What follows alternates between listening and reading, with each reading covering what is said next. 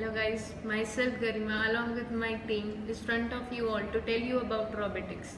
So we are the students of Yaduvanshi Shiksha Niketan Mahendragarh standing in robotics. So here I would like to tell you about robotics. Robotics is high technology which is used in our day-to-day life to make our uh, chores easy. So here I would like to tell you about different parts of this instrument. This is the brain.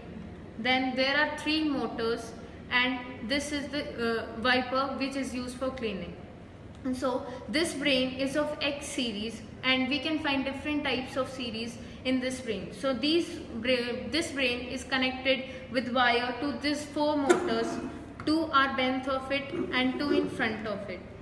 So now I would like to tell you about uh, how we can use this instrument and how can we use it in daily life. So this is the brain and we we need to connect it with our uh, instruments which we from which we can uh, instruct it to work. So there are many ways we can use for its working. So first of all, the most easiest one is we can use remote for its functioning. Second, we can use uh, our mobile phone from which we can connect it with Wi-Fi and use it uh, to as a remote.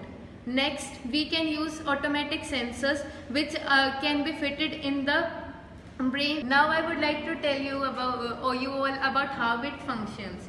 So we uh, today now here we have connected it with our mobile phone using Wi-Fi. So it can this wiper case used uh, to move can be moved up and down using this phone. So see this is moving down then up.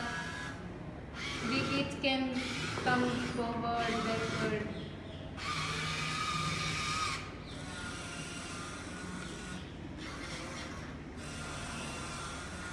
And now it can be used for cleaning.